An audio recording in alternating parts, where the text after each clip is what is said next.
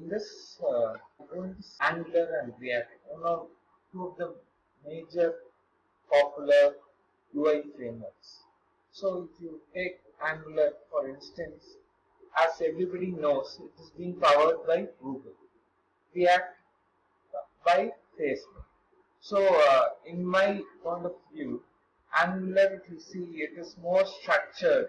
Okay, for uh, writing a component, you need to do uh, maybe uh, you need to define a decorator add component and uh, write uh, TypeScript decorators and a class. This it will be more structured, but in case of React, for uh, writing a component, you just need to write a function and export it.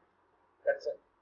Inside that, you just write some JSX components.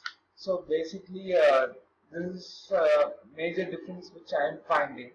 So if you uh, go through the slide, you will understand that Angular is a framework and the React is a library. So Angular, I say it as a framework because it has everything like uh, it has HTTP and all other necessary components which is inbuilt into it. But if you, in case of React, if you take, it is just, it is not as complex as Angular and it has only some basic libraries. And for uh, HTTP, you have to do Axios and uh, other uh, router you have to do uh, you have to import another library. So it is a small library which can be even uh, put into some existing application. But in case of angular it is a complete framework as such for uh, writing angular we use uh, typescript basically typescript it is it is the most recommended for angular if you take even Angular has been written in TypeScript. But in case of React, it is being write, written in JavaScript.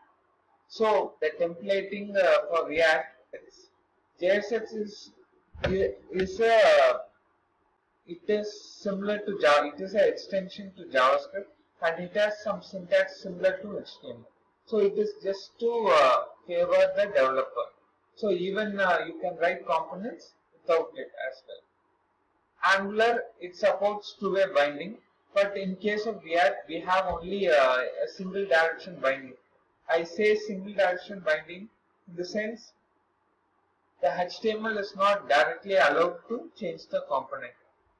Through the HTML you have to uh, you can raise only events that event has to call the uh, render method which will change the date change the state. So the HTML is not directly allowed to changes. In case of uh, Angular, how the changes happens is through Zone.js. So it uh, it detects the change in model through Zone.js. In case of React, it uh, it uh, happens with the help of virtual DOM.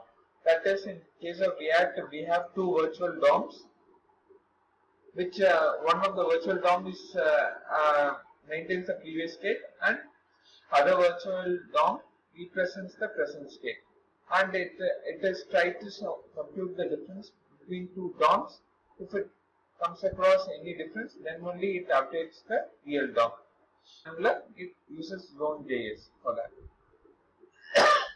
for maintaining the application logic in case of Angular we use services in React.js, we have to, uh, there is not a specific way to do it. We have to go to a third party library like Redux. Uh, Redux uh, specifically says that in the application logic point of truth, something like that, similar to that. So as it is said here, React is being used by uh, these companies and Angular is used by Google obviously and other companies.